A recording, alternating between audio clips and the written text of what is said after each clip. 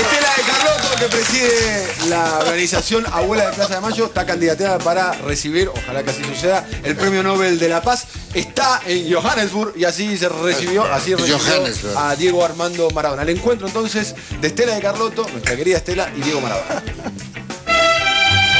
El abrazo de Diego y Estela en Johannesburg. Apoyamos a las abuelas de Plaza de Mayo para el Premio Nobel de la Paz. Allí está, Fernando. gracias por venir. De verdad, de hacer en vivo. Por toda la lucha, por toda la lucha, seguro, seguro. Seguro, gracias. Muchas gracias. ¿Cómo no?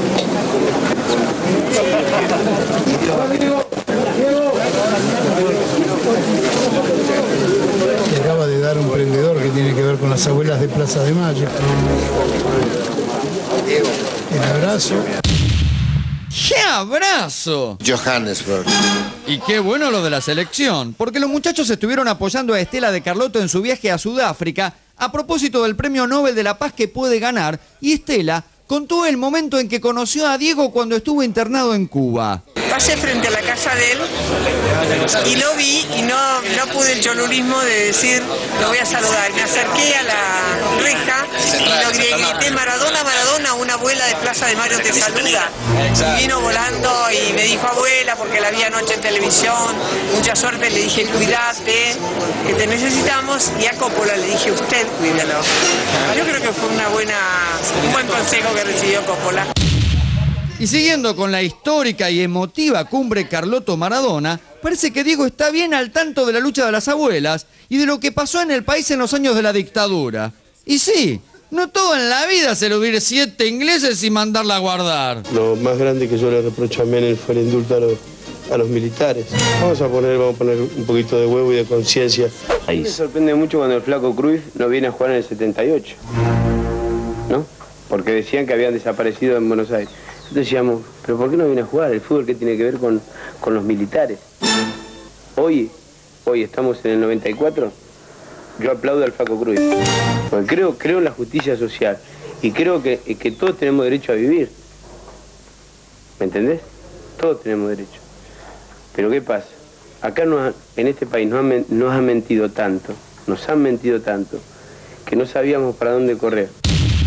Volviendo al encuentro de hoy, del que la mayoría de los medios de acá ni se ocuparon, seguro que para Carlotto no fue un abrazo más. Imagínense si este año ganamos el Mundial y el Nobel de la Paz. El abrazo significó el sello cariñoso entre eh, una abuela y, él, un, héroe de- del, de- del deporte. Pero tenía un frío enorme por fuera, pero un calor de, de- de emoción por dentro. Nunca estuve personalmente con él así, a darle el abrazo y el cariño de todas las abuelas y del pueblo argentino, desearle suerte, decirle que todos lo queremos mucho y aparte decirle que tiene una hija maravillosa porque Dalma es muy solidaria con nuestra institución también. Y la prensa, infinita cantidad de, de- de periodistas Claro. de todo el mundo, sobre todo los argentinos, 678 nos ha seguido todo el tiempo, Canal 7 también y otros canales. Bueno, él muy generoso con nosotros.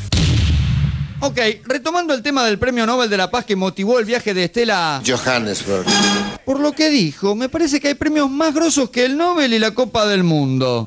Todo, todo trabajo que sea reconocido es grato para el que lo ha hecho y saber que nos quieren es más lindo todavía, es un mimo muy grande. Creo que es un premio para la Argentina también, no para abuelas. Nosotros somos mujeres argentinas y la mujer argentina con la presidenta a la cabeza, porque la verdad que lo que hacen por los derechos humanos es in- inmejorable, este, nos da mucho orgullo. Así que bueno, pero siempre yo digo una frase que es así, no hay mejor premio que encontrar un nieto. Claro, ¿cómo no va a estar contenta por lo del Premio Nobel después de tanta lucha y de tantas alegrías como cuando recuperaron al nieto 101? ¿Pensó que este momento iba a llegar? Mira, las abuelas te enseñan que la lucha es colectiva y que a todos nos podía llegar. Yo hice un brindis que me lo recordaron a fin de año, que lo hice con Estela de Carlotto. Le digo, Estela, el año que viene es nuestro año, brindemos. Así que por ahí Guido aparece. Y si aparece Guido, el pedo que me voy a agarrar va a ser total. Y Y ni hablar si te banca la selección que está a punto de golear a los coreanos. De los mejores pases que le vi hacer a la bruja Verón. Soy Juan Sebastián Verón y me dicen la brujita. Nací en La Plata en el año 1975. En esos años, en la Argentina, la dictadura se robó cientos de bebés. Todavía hoy buscamos 400. Si pensás que sos hijo de desaparecidos o sabés de alguien que duda su identidad, comunicate con abuela de Plaza de Mayo. Bien, para terminar, vemos a nuestro DT que después del abrazo del Mundial se acordó de... Algún que otro muñeco. Digo, ¿qué representa la lucha de las abuelas para vos? Es la reivindicación de, de todos los argentinos que queremos saber la verdad. Mucha emoción estar con la señora de Carlotto. Seguro, seguro, una luchadora. Una luchadora. Todos tenemos que estar con ella. Y los que no quieren estar es porque se hacen los giles. ¡Durísimo! Una de las causas más nobles que tiene nuestro país. Fueron 500 los chicos que nacieron durante, en cautiverio durante la última dictadura. Se encontraron, lograron identificarse apenas 100. En realidad no es apenas, sino nada más ni nada menos que 100. Quedan 400 por identificar. Es una lucha que está encolumnada toda la Argentina. Y las abuelas de Plaza de Mayo, no Estela de Carlotto, sino la organización que preside, está candidateada a obtener ni más ni menos que el Nobel de la Paz. Dos cositas. Una Sí. tiene que ver con el fútbol Sí. y la otra no. La del fútbol. Yo después cuatro cositas. La, la- la del fútbol, la del cinco. fútbol- A la ver. del fútbol tiene que ver con Johan Cruyff. Existe la idea de que Cruyff no vino a jugar acá porque había un gobierno militar. En el libro Mundiales 74, que se publica después del Mundial 74, y está escrito supuestamente por Johan Cruyff, seguramente lo escribió algún periodista, Sí. Cruyff dice que no iba a jugar el Mundial 78 porque ya, no se- ya iba a tener 32 años, quería estar con su familia y no se quería bancar una concentración larga, con lo cual queda descartado lo del gobierno militar de Argentina. Lo segundo que quiero decir es que eh, Está mal en, esto. en perfil, no, no, no, no, no es, no es No ha sido orientado, no es exacto. No, no, no. En perfil.com, en perfil- en perfil.com, lo que voy a decir es muy serio, Sí. en perfil.com, eh, en, la, en nota que habla de Estela de Carlotto, que está en Sudáfrica, eh, le voy a pedir a quien maneja la página Una un, un recato de barra respeto y de buen gusto, porque los comentarios que están al pie son de una vergüenza, de una Los de una comentarios de los... de los, de los, de los, de los De los lectores, lectores. de una asquerosidad, ya no, no digo ideológica, porque digamos, en términos ideológicos sería discutirle alguna idea a Estela de Carlotto. Hay descalificaciones, este, groserías, este, cosas tremendas como, como hablar de, de sus nietos y de, los, y de los hijos de desaparecidos de una manera absolutamente aberrante. Digo, tengo- A ver, hay una- lo- hay los una- comentarios hay- tienen que ver, por ejemplo, hay una apología del Hay delito. una apología del Ah, claro. está, digamos, habría algo que justificaría... hay si- un- yo sé que a ellos les garpa eso. Sí. Pero hay un administrador, digo, alguna vez, eh, creo que no me acuerdo si fue, no me acuerdo en qué A ver, caso vos era. trabajás ahí. en- Yo trabajo ahí. Sí.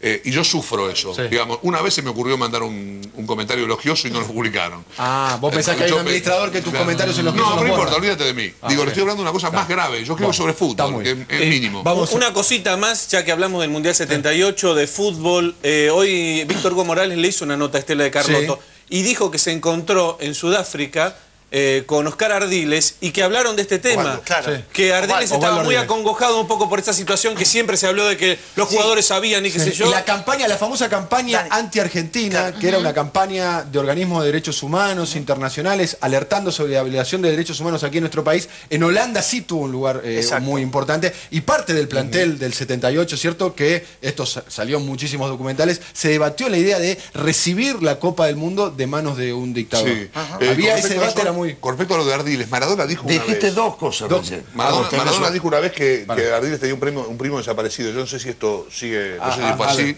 Que- ¿Nuestro invitado? ¿Qué dice nuestro? ¿Qué decías vos? Yo puedo decir algo. Moje, moje, moje. Cuatro Dale cosas. un beso, dale un beso. Yo cuatro cosas. Cuatro Cuatro cosas. Cuatro, ahí, Un ahí está. tema de Copani, escuché hoy que me lo mandó Estela Corazón. Bien, Te amamos Copani. hasta la muerte. Carloto.